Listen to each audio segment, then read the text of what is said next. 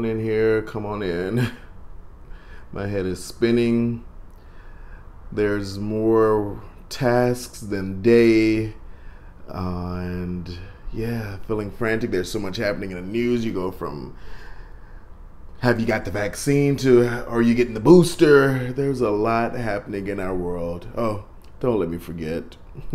Welcome to the High Five Friday headquarters. I am James McDonald. Good to see you all. Thank you for letting me vent for a moment. I know that some of you feel this way. School is starting back up. You have to take the kids to school. You're you're getting prepared. You're trying to do those last minute vacations. You're trying to also tie up ends at work. You're trying to get the job done.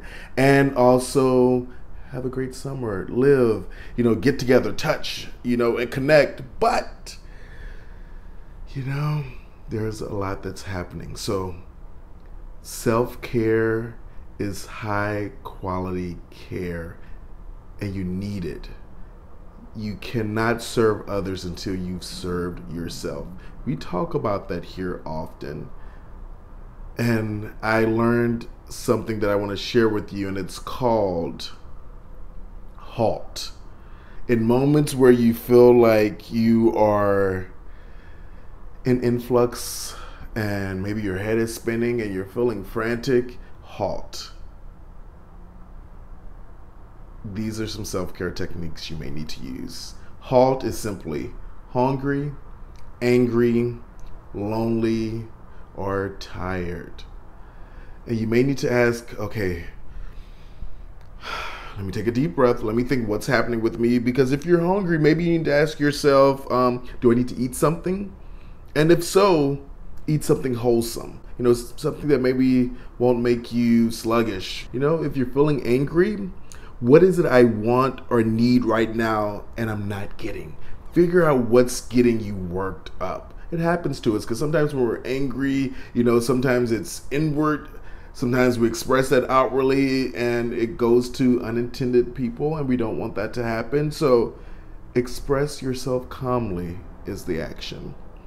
If you're lonely, that happens. We've been 18, 19 months of dealing with that C work that I don't like, dealing with, you know, COVID and, you know, unexpected life that it's brought.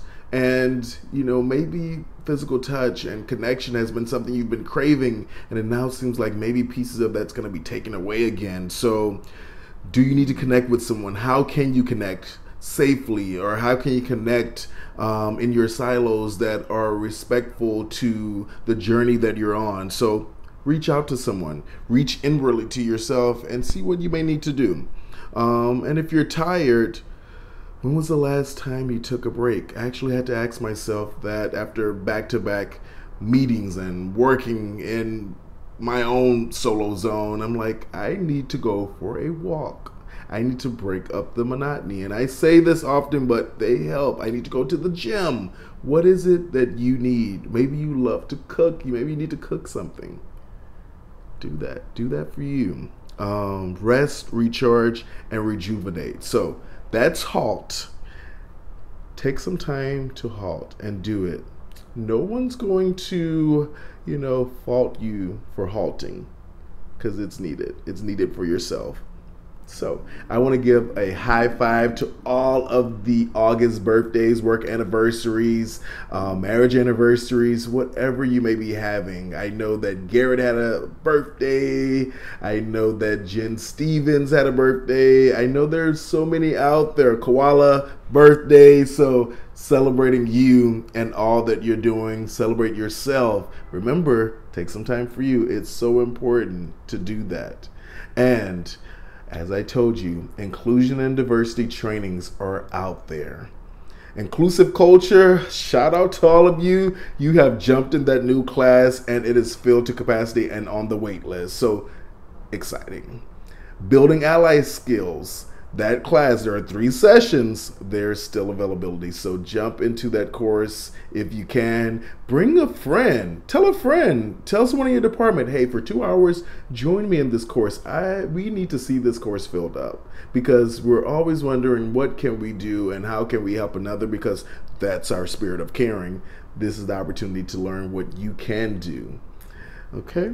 So do that. Enjoy find some time to take a break and vacation uh, and do what's necessary for you. Your affirmation and ponder for today is your commitments can develop you or they can destroy you, but either way, they will define you. Enjoy, enjoy, and don't forget to do your dance. Take a look at this clip. Você pode fazer essa dancinha? Qual? É.